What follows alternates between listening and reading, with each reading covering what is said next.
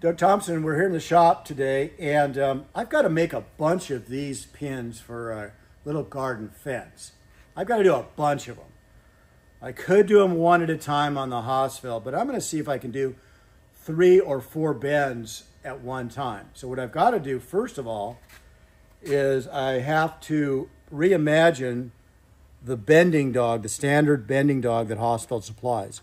I need to make one that's a little taller so it'll support three or four rods easily. So the first thing I've got to do is cut two pieces of 3 eighths by inch and a half. Oh, at three and a half inches, but I'm going to match that angle. Okay, we've got rectangular bar, so I got to make sure that I cut it in the right orientation. What I want to do is I want to make one cut that'll produce the two parts.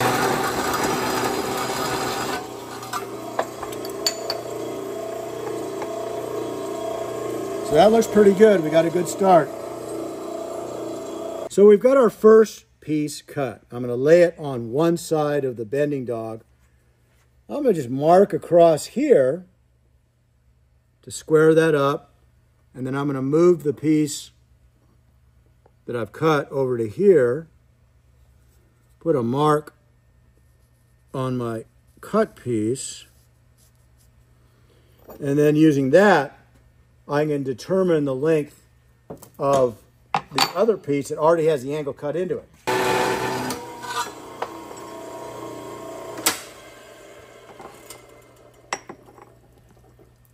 So that one angled cut is going to produce both, both sides of this tool.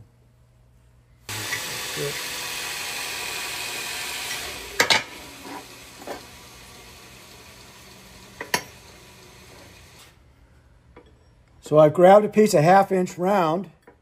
That's going to be perfect. I'll flush it out on the front, fill it with weld. And that'll be our face piece. So that'll fit in there. So I just want to make sure that I know what that dimension is because the top of the Hossfeld bending pin has got to fit through that. One would be perfect.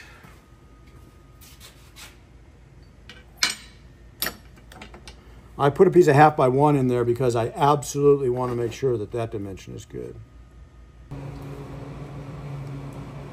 Where I weld this is going to be important, so I'm going to tack on the corners left and right first. Uh, welding. Just going to put a little tack there just to hold it. Cut my wire again. Same thing on the other side.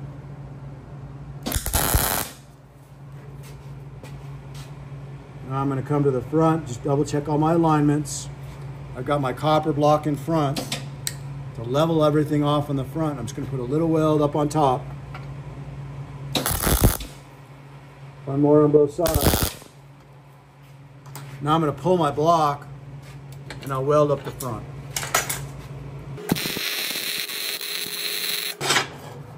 So that was wedged in a little bit. I, I was surprised. So there it goes. Now I've got it out. Now I'm going to really weld this up. I'm going to throw this in the water right now. If it hardens up a little bit, great. It's all going into compression.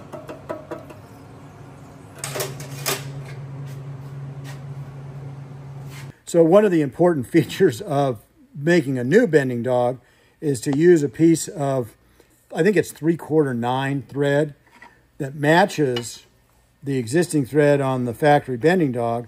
That way you can use the factory uh, adjustment nut for all of your operations. So I'm double checking the relationship between the factory bending dog and the two pins. And I'm going to follow the lower portion as the control. It clears the frame by 16th of an inch. So I've got to make sure that whatever I do follows that so that when I build the, the new bending dog that it doesn't um, interfere when I place it to work, that it doesn't interfere with the top frame. I want to block this up. I don't want any current going through the threads. So I'm going to block this up with some wood and hold it down with a piece of wood. Make it three shims, that should do it. I'm going to go ahead and tack this. I'm going to leave a little bit of space between the front of the bending dog and the threaded rod. So if I have to move it around a little bit, I'll have space to do that. I decided I'm just going to TIG weld this. I don't want to mess around. I don't want to have any uh, chips fall into those threads. Weld So I've ground off the uh, galvanizing on this bolt, and I'm just carefully going to TIG weld this. So here we go. So everything looked perfect except for the fact that I went over, whenever I do something like this, I'll tack it and I'll test it on the machine or whatever it is I'm doing. And I found out I'm upside down. And again, I just tacked it. I'm going to cut it off, turn it over, redo it. We should be okay. But that should help. Pro tip, whenever you're welding, set your welding rod down like that, because if you set it on the table, you can't pick it up with your gloves.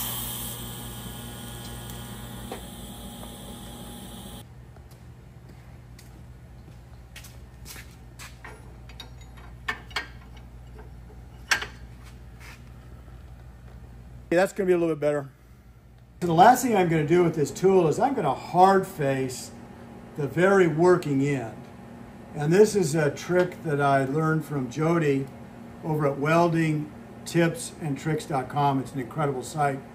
Go there. He's a fabulous educator and a just amazing welder. So I'm going to use a drill bit, an old drill bit. Pretty sure this is O1. And I'm just going to build up the very nose of this piece, the new dog, and then I'll grind it down and clean it up a little bit.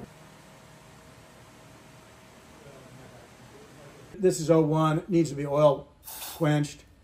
But I'm just going to kind of dip it like that. Let it come out. This I've seen it done. I don't know if it works or not. This is not a really a critical application. And I've got a fair amount of heat behind it.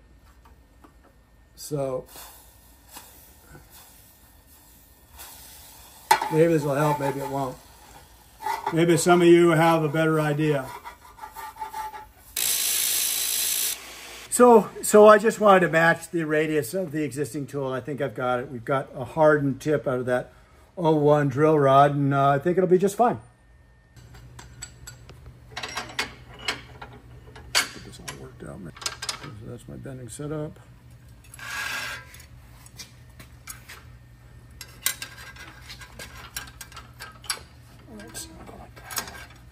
So again, I've lined up the, the front end of my uh, quarter inch rods in front of the bending dog by about a quarter of an inch. I've got it pretty tight, and I'm going to go ahead and bend it to the stop.